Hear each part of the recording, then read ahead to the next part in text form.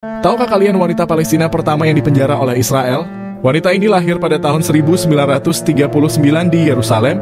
Ia dibesarkan dalam konteks konflik Israel-Palestina yang berkembang.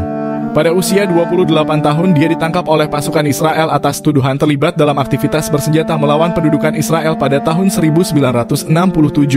Dia menjadi tahanan politik Palestina pertama yang dipenjara oleh Israel dan dihukum penjara selama 10 tahun. Sebagai wanita pertama yang dipenjara oleh Israel, dia memberikan inspirasi bagi generasi berikutnya dalam perjuangan kemerdekaan Palestina dan menjadi simbol peran perempuan dalam perlawanan dan perjuangan nasional.